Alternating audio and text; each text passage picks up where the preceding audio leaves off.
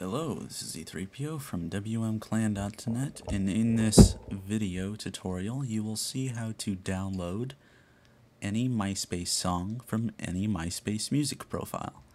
To get started, go ahead and open up Firefox or Internet Explorer, doesn't matter. When you have it open, go to google.com, search for Fiddler,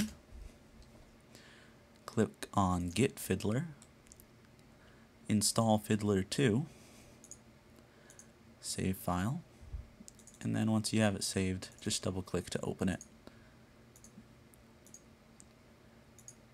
Install it, and then it will load up Internet Explorer with Fiddler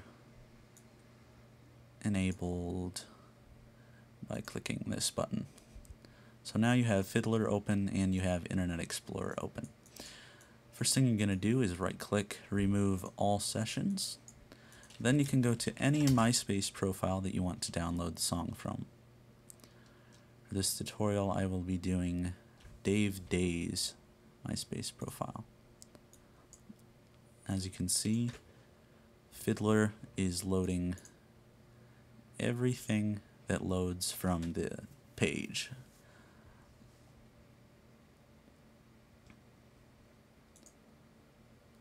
Okay, once the page is loaded, you can click on the song you want to download.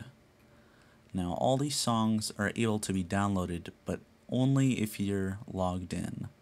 So, this works for anything, period.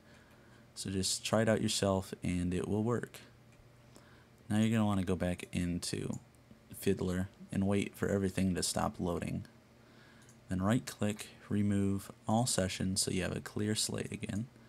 Then click on the sound you want to download.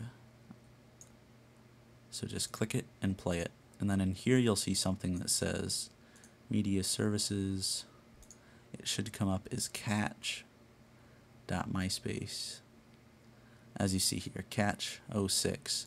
So you can just right click on that, copy just URL, then you can exit out of Fiddler, exit out of Internet Explorer, and then put that link in Firefox.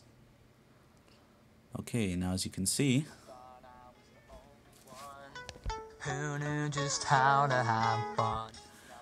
this is the song. So you can just go up to File, Save Page As, and then save it as the name of the song, whatever it is, uh,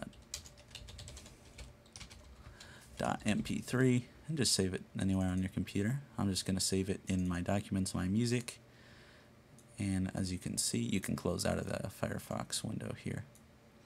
It is starting the download. You can also use programs like uh, Download Accelerator and Free Download Manager, and it will download it a lot faster because it uses, it opens up more uh, parts of the file to download at the same time. So I'm just going to pause this until it's done downloading.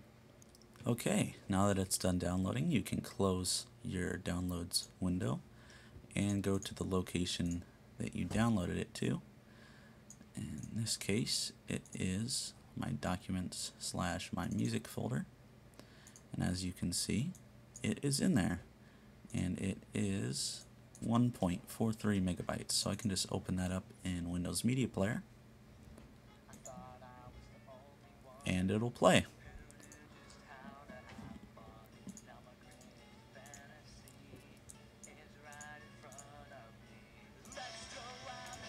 What a waste of space, poop on my face Holy shit, literally 100% free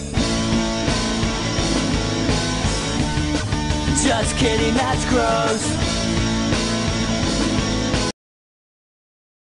So that's how you download any song from MySpace. Uh, this is E3PO, and hopefully this will help you out for your quest to world domination. Visit our website at wmclan.net and also check out vividabstractions.com. You can find us on Google by typing in Vivid Abstractions. Thanks.